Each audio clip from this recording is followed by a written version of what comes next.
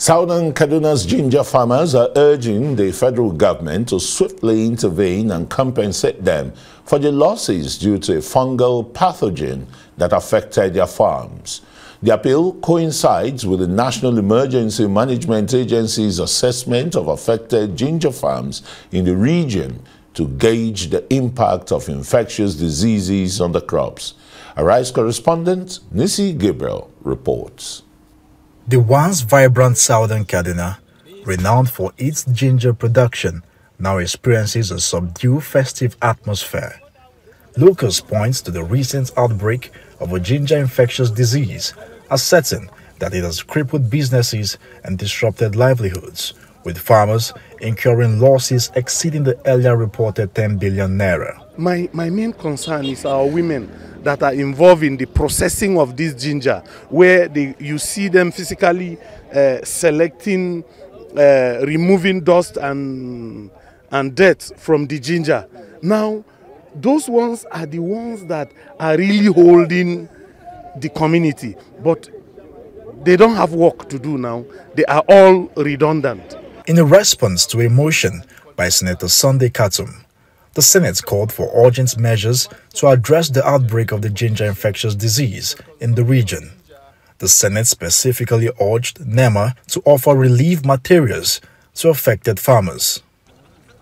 Officials from NEMA have now toured farms impacted by the outbreak across the region, pledging to provide recommendations for the distribution of relief materials six months after the disease outbreak. I've seen so many things, the way the crops, the way it's affected the farmers. So when we get back to office, we are going to write our report and make recommendation for them. Very soon, once we send our report, inshallah, they will react on it immediately. Concerns loom among ginger farmers regarding the availability of seedlings for the upcoming farming season.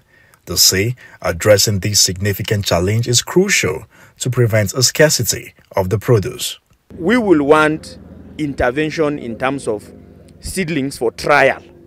So that if we try it in the dry season from what is going to germinate and what we are going to monitor it will give us confidence to see that whether those seedlings that have been introduced are going to actually be good or not. But apart from the seedlings too we need financial intervention. I can tell you some of our farmers are now a subject of litigation there are a lot of farmers. The association is working hard to see how we can work together with stakeholders and see how we can rescue some of these people. There are farmers that are indebted to the tune of 100 million, 200 million naira. They, they collected these loans to expand production and then this setback. The severe impact of this infectious ginger disease has struck a heavy blow to farmers, disrupting the entire value chain, spanning from production and processing to marketing. It's hoped that with the coming of NEMA to sample affected farms, ginger farmers will get some government relief.